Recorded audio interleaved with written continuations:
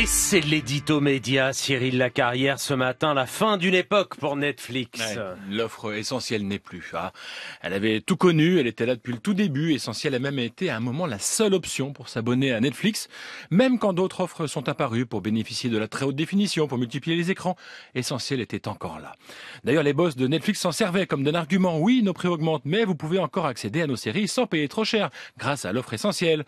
Tout ça, c'était avant, avant hier, car depuis ce petit argument peu démago a disparu, l'offre essentielle de Netflix n'est plus.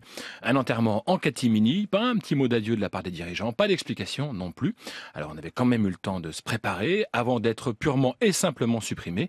Elle avait été commencée par être planquée sur leur site.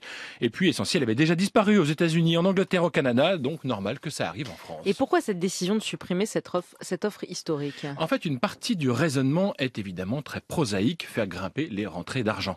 L'offre l'offre d'entrée de gamme est désormais à 13,49€ contre 10,99€ pour l'ancienne.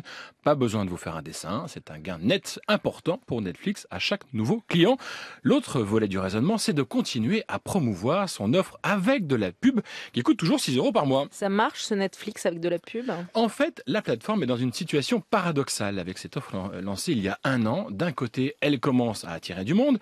Netflix revendique 5 millions d'utilisateurs actifs mensuels, mais malgré ces chiffres encourageants, Netflix ne parvient pas encore à satisfaire les annonceurs. Ils disent qu'il n'y a pas assez de clients, justement, susceptibles de regarder leurs pubs et qu'il n'y a pas non plus assez de place pour en diffuser. Charge à Netflix donc de leur fournir du temps de cerveau disponible. Et oui, Netflix, c'est hype, mais c'est devenu de la télé comme avant. C'est aussi ce qui explique tous les changements récents chez Netflix Oui, et il y a eu en fait une année charnière, 2022. Pour la première fois dans son histoire, Netflix a perdu des abonnés. Branle-bas de combat, il fallait redresser la barre et surtout ne pas donner le sentiment que la maison était fragile.